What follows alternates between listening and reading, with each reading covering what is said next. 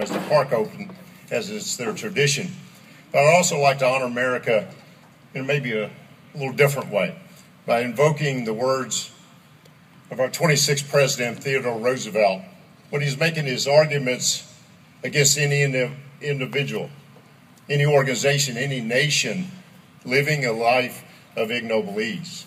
And he penned these words Far better it is to dare mighty things, to win glorious triumphs though checkered by failure, than to take company with those poor, timid souls that neither enjoy much nor suffer much, for they live in the gray twilight that knows neither victory nor defeat.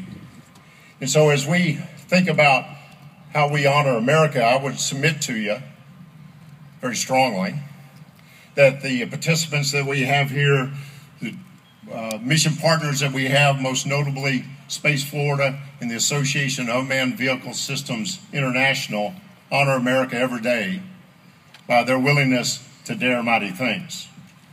So once again, the world comes to Florida to dare mighty things. And with that being said, I'd like to uh, introduce the Chief Operating Officer of Space Florida, Jim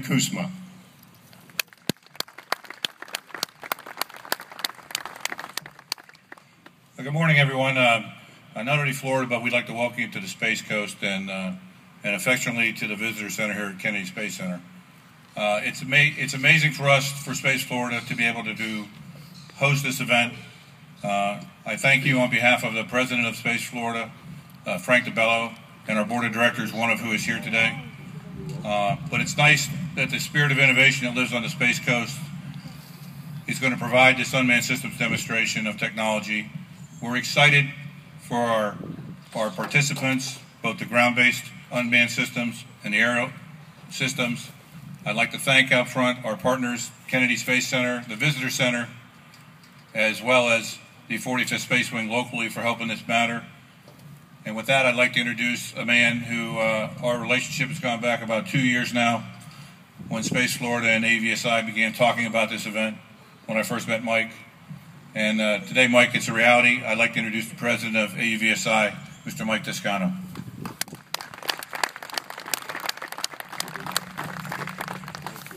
Thank you, Jim.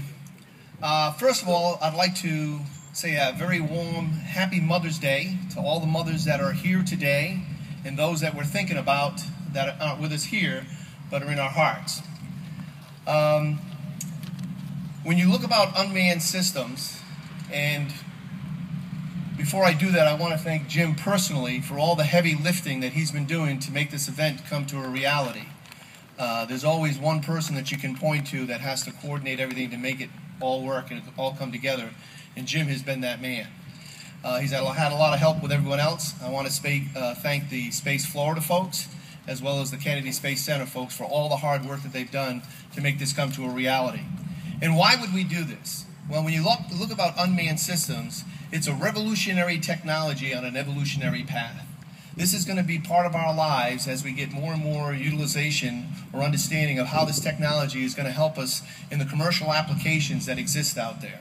So this is a very exciting time, and this is an opportunity to help educate not just the public, but the regulatory people, the decision makers, of how this technology can improve every aspect of our lives, doing things that are much more effective, more efficient, and most of all, saving lives. So I made sure that I would keep this uh, on time to make sure we get ready for the 10 o'clock demo. So with that, I'm going to turn it back over to Jim and say thank you very much and welcome to Space Florida and Kennedy Space Center.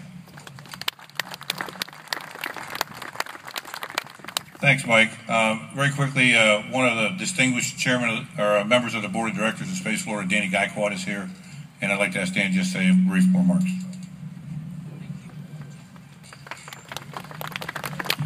Thank you.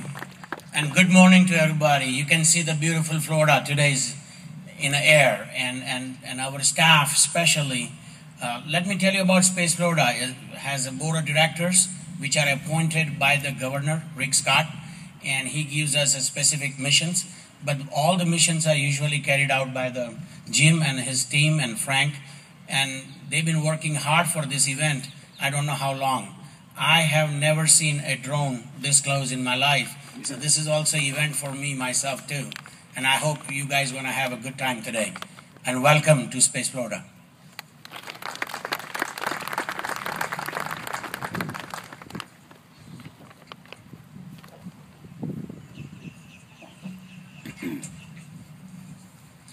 Okay, gentlemen, thank you for uh, very kind words and appropriate words. Uh, as we get ready to kick off this unmanned systems demonstration, I would uh, like to direct your attention to your programs. You'll see there's a number of events here at the Kennedy Space Center Visitors Complex. Uh, if you look off to about your 4 o'clock uh, from your perspective in the stands, you see the white and blue building, which is the IMAX Theater. There will be uh, static displays and booths set up there. At about 3 o'clock, towards the rocket garden where you came in perhaps uh, this morning, but certainly the main entrance to the visitors complex is the Debus center for those of you that have uh, the appropriate uh, wristband for uh, the VIP uh, courtesy room there. But also, and perhaps most importantly, uh, where the uh, buses depart and arrive is just about at your 2 o'clock. You can see the orange sign over there. that's where you can catch the bus to go out to the Exploration Park, which is about uh, 0.8 miles south of here, where the actual demos will be going on. And, and also, we'll have uh, downlinks uh, here uh, pretty quickly. Will be uh, emceed by Grant Begley, uh, who's on site at Exploration Park to give you the details about the various demonstrations that we have there. Also, I'd like for you to go in and really uh, commend it to your attention. I had the great honor of being the chief of staff here at the Kennedy Space Center after 25 years in the United States Marine Corps. Um, and uh, the magnificent work, the good and noble work that went on by our nation is really depicted here behind me in the uh, Atlantis building. Please take time to go see uh, that very storied uh, space vehicle. So, with that being said, let's go dare mighty things. Thank you.